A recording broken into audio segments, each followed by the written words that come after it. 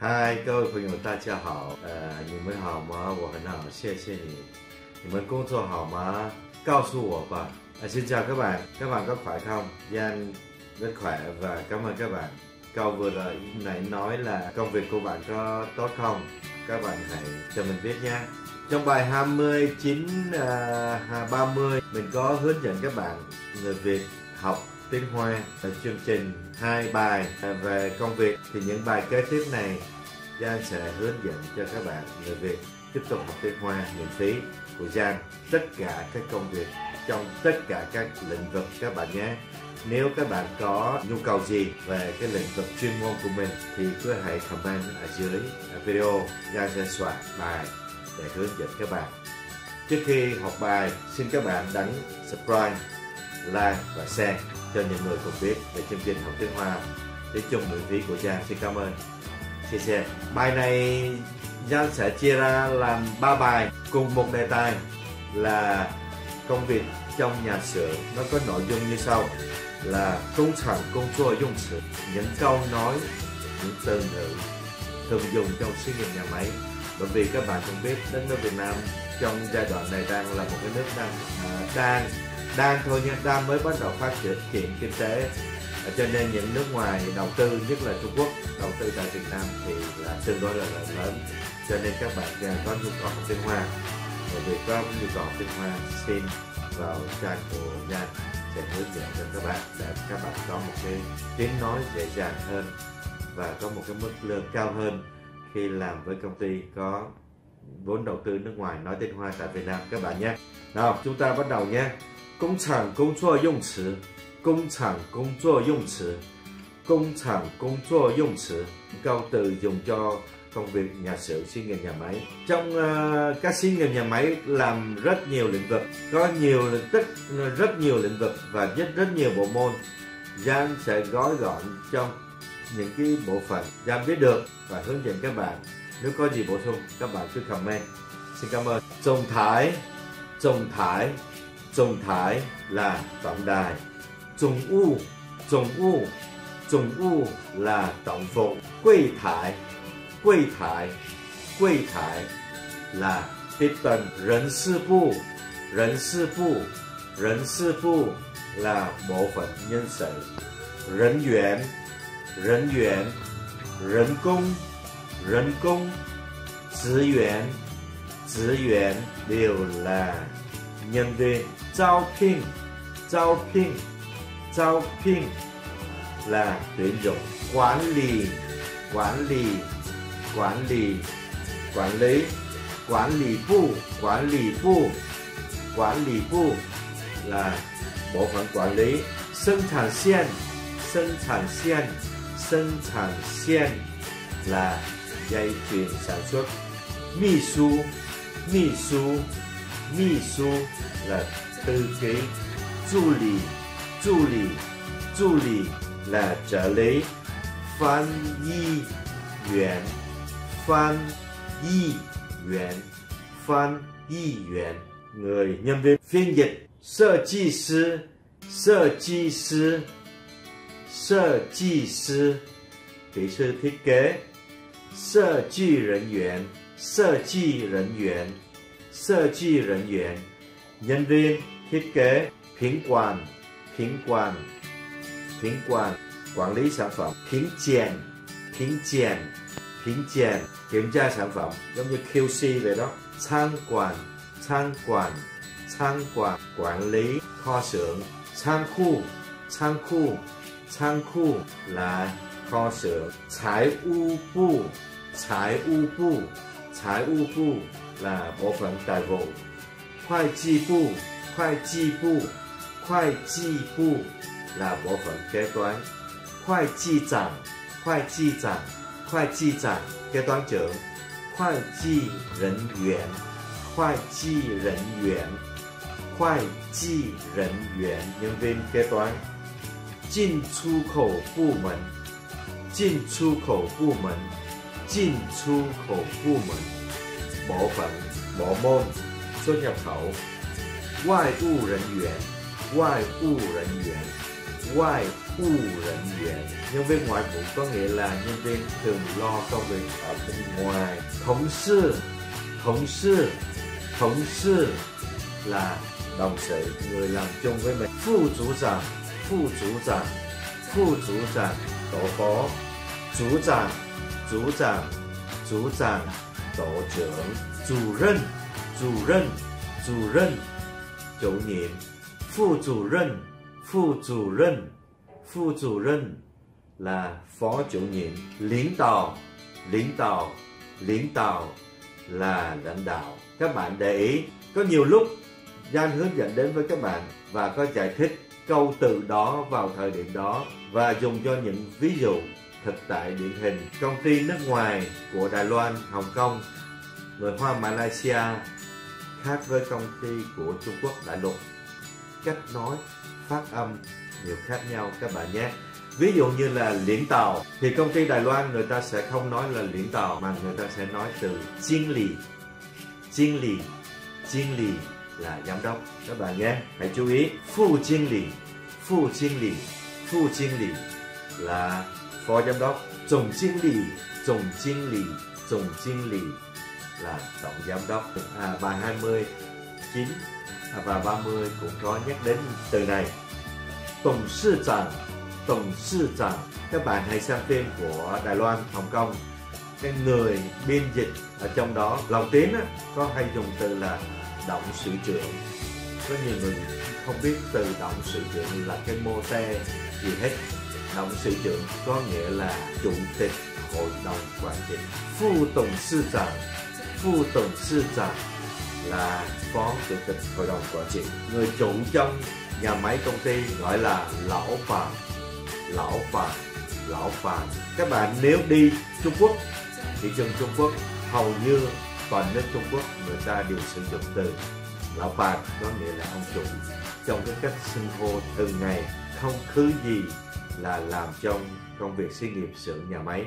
Các bạn nhé, nhưng ở Việt Nam hoặc là những khu vực của người Hoa Đông Nam Á, ở, thì người ta dùng cái từ chỉ đích danh cho một vị nào có chức danh tại một cái vị trí nào đó, người ta mới dùng đích danh chỉ từ đó. Lão bàn niảng lão bàn niảng lão bàn niảng bà chủ chủ bị can phu chủ bị can phu chủ bị can phu, cán bộ dự bị các bạn thường làm ở trong công ty của Đài Loan. Lưu ý, cán bộ Đài Loan, người ta hay gọi dùng từ này. Thải can thải can thải can. Thải là đài, tức là Đài Loan đó. Can là cán bộ. Cán bộ của Đài Loan điều qua làm việc tại Việt Nam, gọi là thải can. Các bạn làm việc tại xí nghiệp nhà máy có vốn đầu tư của người Trung Quốc thì người ta sẽ nói ác lu can lu can lu can. Trung Quốc đại lục người ta gọi là lục cán, không phải là lúc cán nha. Cán bộ của bên Trung Quốc đại lục phái qua Việt Nam gọi làm việc gọi là lục cán cán bộ của người Trung Quốc. Còn Việt Nam gọi là yue chỉ can phu, yue chỉ can phu, yue chỉ can phu. Yue là việt chỉ là cấp cấp cán bộ người Việt ok thế thì các bạn có thể dùng những cái từ này là sử dụng trong uh, công việc thường xuyên trong cái uh, làm việc tại xí nghiệp nhà máy có vốn đầu tư nước ngoài hôm qua mình học những từ vựng này áp dụng sử dụng vào ngay ví dụ như 我要去总台我要去总台我要去总台 tôi muốn đi tổng đài 我要去人事部我要去人事部 tôi muốn đi coi như là bộ phận nhân sự công sư招聘人员公司招聘人员公司招聘人员công ty tuyển dụng nhân viên nhá à, 我管理仓库我管理仓库我管理仓库 tôi quản lý uh, là kho xưởng chẳng hạn như tài tài vụ là 我要到财务部去我要到财务部去 我要到财务部去 do 排练模仿代徒我要见会计长我要见会计长我要见会计长的目标给短久出入口部门工作出入口部门工作。出入口部门工作。刚回过模仿呃说入口工厂生产线工厂生产线工厂生产线一嘴想说将两泪老板的秘书老板的秘书老板的秘书thư ký của ông chủ 经理的助理经理的助理经理的助理trợ lý của giám đốc à, à, 我要翻译人员我要翻译人员我要翻译人员 tôi muốn người nhân viên phiên dịch à, có nhiều cái cách nói chỉ cần các bạn học thuộc từ và các bạn có thể áp dụng cái từ đó nói vào trong công việc của mình ok à, để khỏi tốn mất thời gian của các bạn. Chúng ta đi vào à, cái câu câu từ mà áp dụng cho những cái câu từ vừa rồi chúng ta đã học. Thì sau chúng ta hay là trước tiên chúng ta hỏi xin quân nhỉ cho sớm công chua xin quân nhỉ cho sớm công chua xin quân nhỉ cho sớm công chua xin hỏi là ông bà làm công việc gì? À, tôi chua nhân sự bộ tôi chua nhân sự bộ à, tôi chua nhân sự bộ tôi làm bộ phận nhân sự. Nên nhỉ sư nà cơ bộ mệnh. Nhỉ sư nà cơ bộ mệnh. 你是哪个部门？bạn là cái uh, bộ phận nào à, 我是财务部我是财务部我是财务部 tôi là bộ phận tài vụ 你公司有多少个人员？你公司有多少个人员？你公司有多少个人员？công ty của bạn có bao nhiêu nhân viên 我公司有一千个人员。我公司有一千个人员。我公司有一千个人员。Công ty tôi có 1.000 nhân viên. Nì công sản, sinh sản, sấm mơ sản phẩm. Nì công sản, sinh sản, sấm mơ sản phẩm. Công xưởng của bạn, nhà máy của bạn sản xuất những sản phẩm gì? Wo công sản, sinh sản, thành y. Wo công sản, sinh sản, thành y. Wo công sản, sinh sản, thành y. Công xưởng tôi là sản xuất là ngành may mặc. Nì thiên công chua 几个小时你一天工作几个小时你一天工作几个小时 một ngày bạn làm bao nhiêu tiếng 我一天工作八小时我一天工作八小时我一天工作八小时 Giờ tôi làm việc mỗi ngày 8 tiếng 你有加班吗你有加班吗你有加班吗 bạn có tăng ca không 要看哪个部门要看哪个部门要看哪个部门 phải xem cái bộ phận nào mới tăng ca ý là như vậy 今天有没有加班今天有没有加班今天有没有加班 hôm nay có tăng ca không 今天有加班今天有加班今天有加班 hôm nay có tăng ca 今天没有加班今天没有加班 今天没有加班 hôm nay không có tăng ca đó là mình phải áp dụng vào những cái từ đó nhé 加班几个小时加班几个小时加班几个小时 tăng ca mấy tiếng 我加班三个小时我加班三个小时我加班三个小时à, tôi tăng ca 3 tiếng thường thường các bạn làm xí nghiệp nhà máy dệt rồi len rồi hay là à, giày dép rồi áo quần thường hay tăng ca 3 tới 4 tiếng. Chỉ tiền nì khai sử gia ban. Chỉ tiền nì khai sử gia ban. Chỉ tiền nì khai sử gia ban. Mấy giờ bạn bắt đầu tăng ca. 7 tiền quảng sang tao chiếu tiền ban. 7 tiền quảng sang tao chiếu tiền ban. 7 tiền quảng sang tao chiếu tiền ban. 7 giờ tối đến 9 giờ rưỡi tối. Mì sang phải ban hải sư hoàn ban. Mì sang phải ban hải sư hoàn ban. Mì sang phải ban hải sư hoàn ban. Bạn đi làm vào 3 ca ban ngày hay là ca ban đêm? À, tùy thuộc vào bạn nói. Của sang à, ban. Của sang phải ban. Của sang phải dạ ban.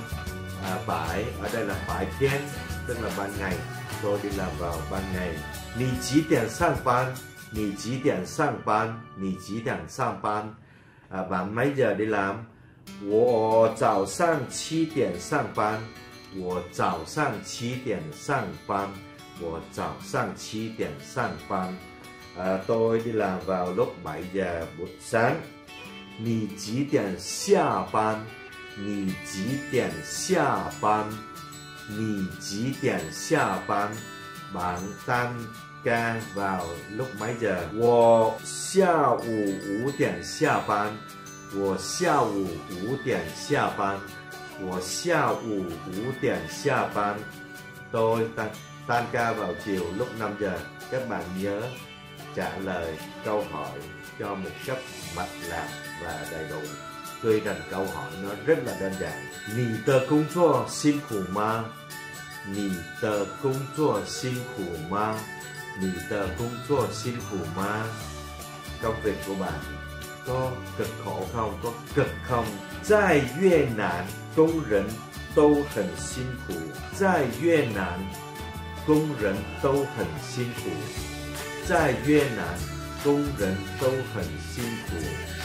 时常加班，时常加班，时常加班。